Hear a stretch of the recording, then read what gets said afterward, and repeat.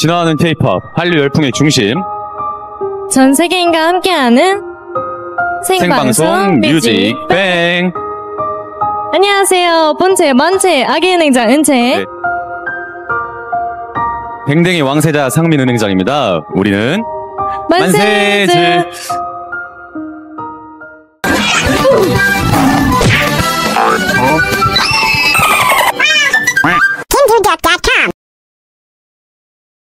네, 오늘은 시작하기 전에 여러분들에게 아쉬운 소식을 전해드려야 되는데요.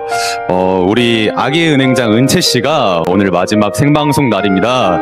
은채 씨, 저 두고 어디 가는 거예요? 진짜. 안올 것 같던 날이 와버렸네요. 뮤직뱅크를 진행하면서 정말 시간 가는 줄 몰랐는데 벌써 1년 7개월이라는 시간이 흘렀더라고요.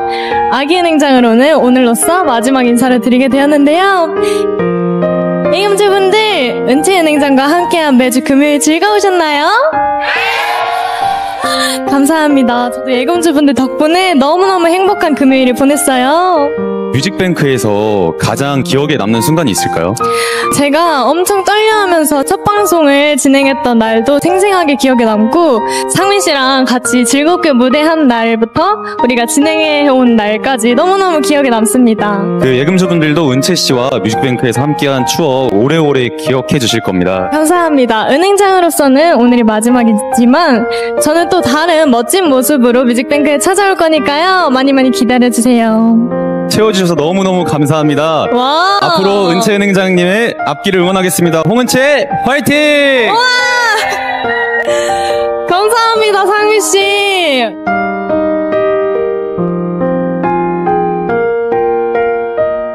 은채 씨, 2023년 2월부터 1년 7개월 동안 어, 뮤직뱅크 은행장으로 함께 해주셨어요. 오늘 이렇게 마지막으로 뮤직뱅크 은행장으로서 시청자분들에게 인사 부탁드리겠습니다. 그동안 아기 은행장 은채로서 뮤직뱅크와 함께 할 수 있어서 정말 너무 감사했고 정말 정말 행복했습니다. 그동안 저를 정말 아껴주시고 도와주셨던 뮤직뱅크 PD님, 작가님, 카메라 감독님들을 비롯한 모든 스태프분들께 정말 정말 감사드리고요. 저와 함께 매주 금요일을 빛내줬던 상민 씨와 그리고 예금주분들, 우리 피아나까지 저와 함께 해주셔서 너무너무 감사했습니다. 그리고 또 매주 이렇게 멋진 무대를 보여주신 아티스트 분들 덕분에 저도 많이 배우고 성장을 했던 것 같아요. 이런 소중한 경험들과 추억들을 잊지 않고 더 멋진 모습으로 뮤직뱅크에 금방 돌아오겠습니다. 은채은행장과 만세즈 잊지 말아주세요. 감사합니다.